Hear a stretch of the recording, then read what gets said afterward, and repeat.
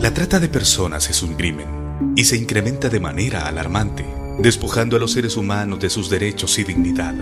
En Honduras son muchas las víctimas atrapadas por esta forma de esclavitud moderna. Las personas no se deberían comprar o vender.